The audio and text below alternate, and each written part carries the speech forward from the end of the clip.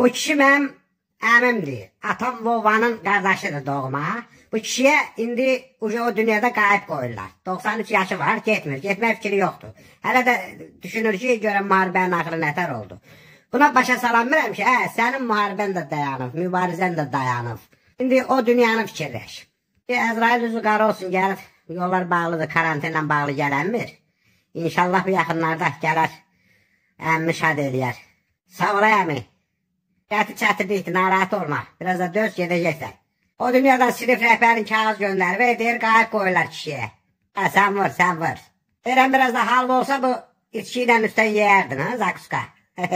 Al. Daha bir şeyin kalmayıp. Ha oraya mı? Kağıt yatmışım orada gol çek. Karantindanı seni posta bıraksınlar Ezrail aparanda.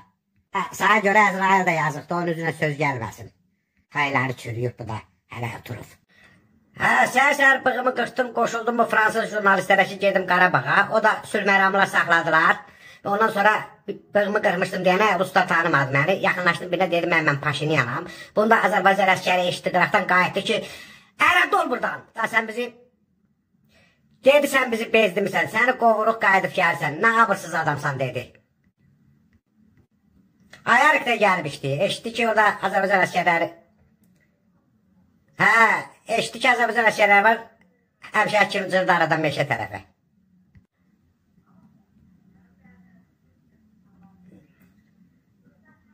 Yaxınlaşdım Rus əskərinə dedim, hə, qoy bu dəfə keçək gedək, heç olmasa